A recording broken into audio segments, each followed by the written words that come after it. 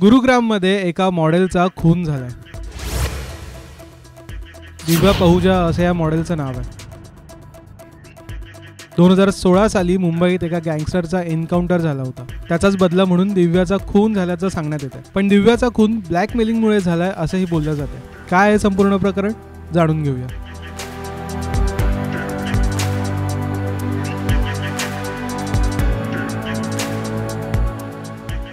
साल दोन हजार सतरा जेव्हा दिव्या एकोणीस वर्षांची होती. मॉडेलिंगमध्ये करिअर करणारी दिव्या गुरुग्रामच्या गँगस्टर संदीप गडोलीच्या प्रेमात पडली होती. संदीप गडोली आणि दिव्या मुंबईच्या एका हॉटेलमध्ये थांबले होते. तेव्हा गुरुग्राम पोलिसांनी या हॉटेलवर धाड टाकली आणि एन्काउंटरमध्ये गडोलीचा खात्मा केला.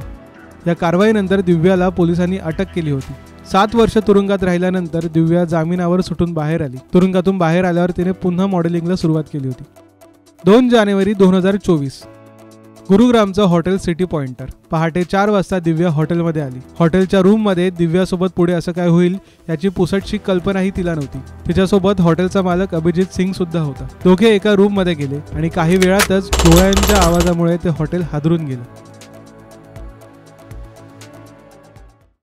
अभिजितने दिव्याला गोळ्या घालून ठार केलं. बीएमडब्ल्यू गाडीत तिचा मृतदेह टाकला. अभिजितने आपल्या दोन साथीदारांना तिच्या मृतदेहाची विल्हेवाट लावण्याची जबाबदारी दिली. दोन्ही साथीदार ही गाडी घेऊन पंजाबला फरार झाले. दिव्याने दोन हजार सतरा साली संदीप गडोलीला प्रेमाच्या जाळ्यात तोडलं आणि पोलिसांकडून त्याचा एन्काउंटर करवला असा आरोप संदीपच्या बहिणीने केला होता. आता दिव्याचा खून करून हा बदला घेतल्याचा संदीपच्या बहिणीने म्हटलं. लेकिन कहाणी में ट्विस्ट आहे पण पोलिसांनी हा रिव्हेंजवाला अँगल बाजूला सारला. दिव्याचा खून ब्लॅकमेलिंगमुळे झालाय असं पोलिसांनी म्हटलं. दिव्या आणि हॉटेल मालक अभिजित सिंग यांच्यात शारीरिक संबंध होते. दिव्याने अभिजितचे काही खासगी आणि अश्लील फोटो काढले. हेच फोटो दाखवून दिव्या अभिजितला पैशांसाठी ब्लॅकमेल करत होती. दोन जानेवारीला अभिजितने दिव्याला हॉटेलमध्ये बोलावलं. अभिजितने दिव्याचा फोन घेतला आणि पासवर्ड मागितला.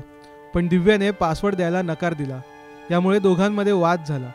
भडकलेल्या अभिजितने दिव्याला गोळ्या घातल्या आणि त्यातच दिव्याचा मृत्यू झाला.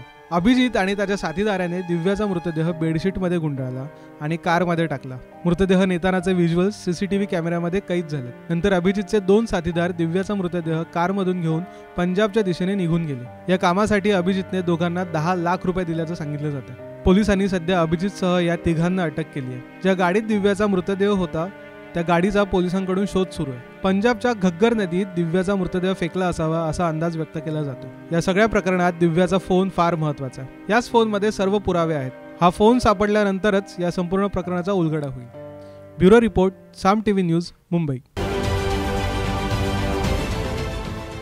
देश विदेशातील प्रत्येक घडामोडींचे लाईव्ह अपडेट मिळवण्यासाठी आता साम टीव्हीच्या सर्व सोशल मीडिया प्लॅटफॉर्मला लाईक फॉलो आणि सबस्क्राईब करा. तसंच सर्व नोटिफिकेशनसाठी बेल आयकॉन प्रेस करायला विसरू नका.